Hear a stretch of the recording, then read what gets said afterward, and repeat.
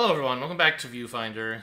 Uh, it's been a few days for me since the last uh, episode when I said I was going to maybe finish this and maybe not. Thought I'd give it another try. I had to slog through for a third time the timed puzzle at the apparent end of the game. Made it back here. No crash loading the cat. We'll see if it crashes when it tries to teleport me or if that works. Third time's the charm? I see. I suppose our time has come to an end. Thank you for stopping by. See you, kitty cat. I wish you well.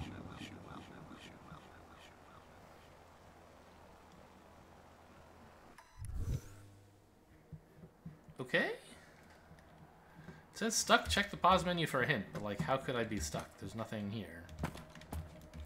Alright, so here we are on, like, Mars or future New York or whatever this is. Might be the real world, might not. We don't really know. There's a tree. That's pretty cool.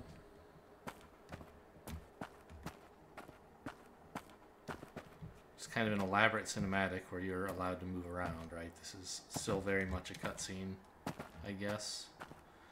No real puzzles to do. Can't walk very far outside the bounds of where you're meant to go. So check out a tree, fall asleep and die. Hey, it's a tree. It's a plant. Sprout? I guess it's a sprout. Oop. I was didn't really mean to go through yet. Still trying to explore. You're back. Oh, thank God. You made it.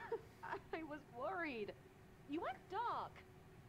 Don't scare me like that. You probably need some rest. I guess it was too good to be true. For not the end. We can keep brainstorming other...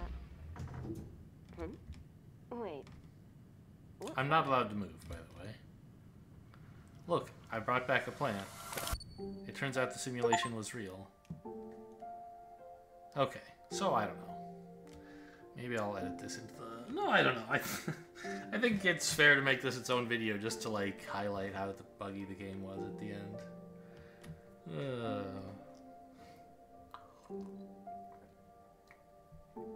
So, what, what do I have to say about this game at the end? I forget already what I said last time. Like I said, it was a few days ago.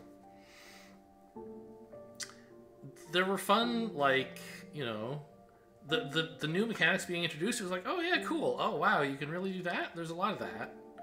There wasn't a lot of hard puzzles, which is fine. Um, uh, I sort of felt like the whole game was a tutorial, and then you like get to the end, and it's like, oh, it's just over. I hated the part at the end with the timed puzzles. What was that about? Like, this hasn't been a game about racing through stuff. It doesn't make sense to introduce that as some climactic ending, in my opinion. Um, but it's nice that they let you turn it off. Can't be too mad about that. Um, oh, the Super Hot team worked on this, I guess? Maybe? Interesting. I never played Super Hot. Um, I really did not like at all the parts that were like perspective puzzles where stuff popped in and out of existence. Uh, or you had to stand in the right place to make something happen.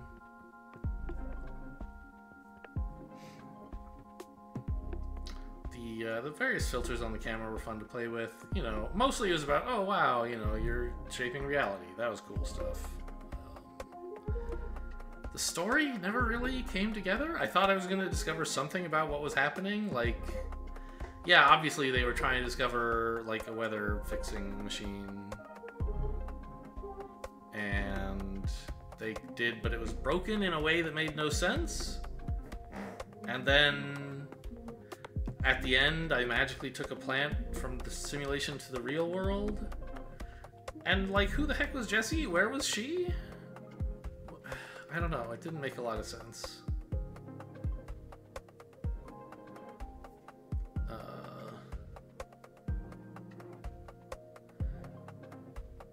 and then they've got a bunch of uh, special thanks here, I guess. Uh.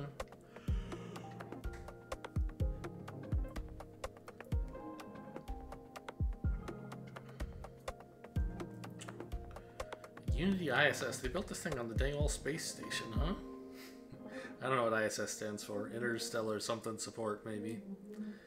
Um, I assume it's somehow related to Unity, the game engine, right? I assume, I assume this was made in Unity, and ISS was some kind of support team involved with that.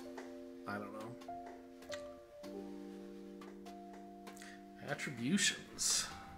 Oh, font attributions. How nice. Those are the only things they had to put in attributions was the 11 fonts they used. Open dyslexic, huh?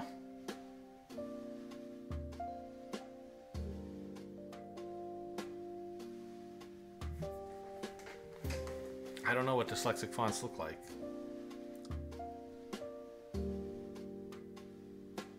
So I mean, the game was a fun experience. Um, what did it? What did it cost on Steam anyway? Twenty bucks, probably. Twenty-five. Actually, I think it was on sale like fifteen or 20, 10 percent off the first game, so it's probably like twenty-two.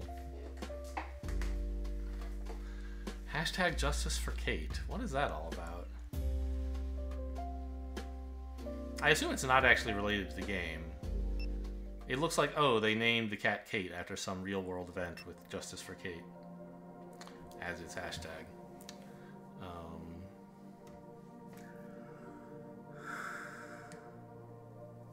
well, there you go. That's your that's your wrap up for Viewfinder. Turns out we were seconds away from the end of the game, but I really couldn't tell, and I was not going to fight through that last puzzle one more time in the last session. Hope you guys enjoyed. Thanks for watching, and I'll see you next time.